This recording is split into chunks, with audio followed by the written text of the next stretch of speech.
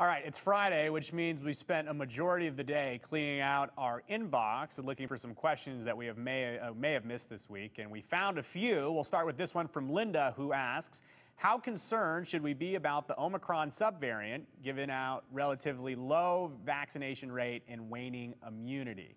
So it's called the Omicron subvariant, but is often referred to as the stealth variant because it has a genetic mutation that could make it more difficult to distinguish from the Delta variant.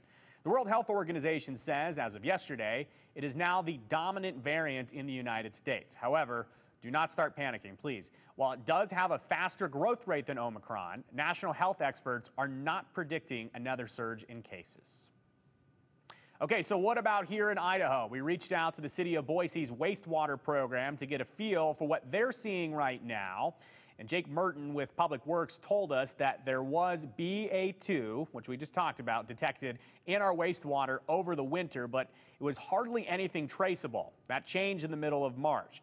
During a testing of the wastewater on March 14th, which was the last time that it was tested, results showed about 32% of the COVID detected in the water was BA2.